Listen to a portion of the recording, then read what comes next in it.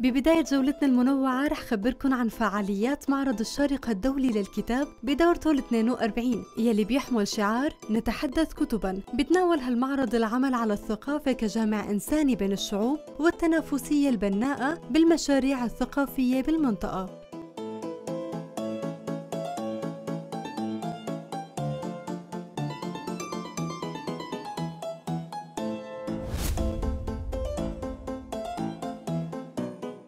ننتقل من الشارقة لجنيف لنخبركن عن ماسة زرقاء نادرة صنفت ضمن أغلى عشر قطع. فبيعت بلو رويال المثالية مقابل 44 مليون دولار تقريبا خلال مزاد نظميته دار كريستيز بجنيف.